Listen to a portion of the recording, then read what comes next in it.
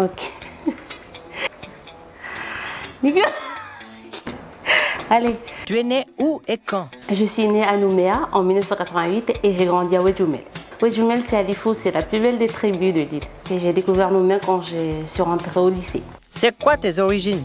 Je suis métisse Maré-Lifou. Je sais que c'est pas un vrai métissage, mais on dit toujours qu'on est métisse Maré-Lifou.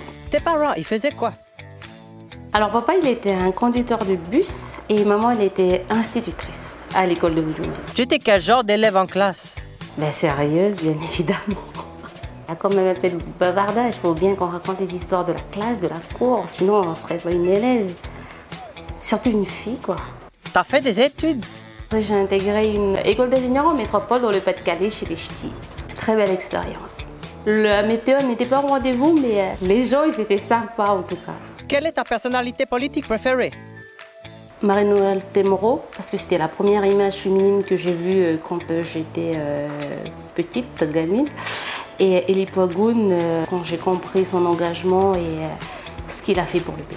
Tu es stressé Je suis stressée parce que j'ai peur de ne pas être à la hauteur des attentes de la population. Je disais que c'est plus facile de travailler dans une entreprise privée parce qu'on n'a qu'un seul employeur. Quand on est élu, c'est le peuple qui, qui nous emploie. Mais si tu es élu, tu veux t'occuper de quoi? Je vais m'occuper de l'insertion des jeunes et euh, l'accompagnement des jeunes. Ton pays, c'est quoi pour toi? C'est euh, ma famille, c'est mon clan, c'est mes rivières, c'est mes montagnes, c'est mon environnement, c'est quelque chose qui est dans moi, c'est comme mon sang. Qu'est-ce que tu as appris lors de cette campagne?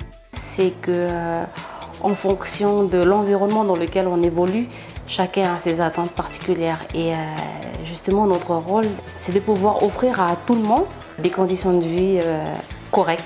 Tu faisais quoi avant cette interview? J'étais au travail comme tous les Calédoniens. Et tu vas faire quoi après?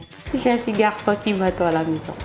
Un dernier mot pour la fin J'espère que tous les Calédoniens euh, prennent conscience de, de cette mandature-là parce qu'elle est très, très, très, très, ultra importante pour euh, la société de demain qu'on l'on veut construire.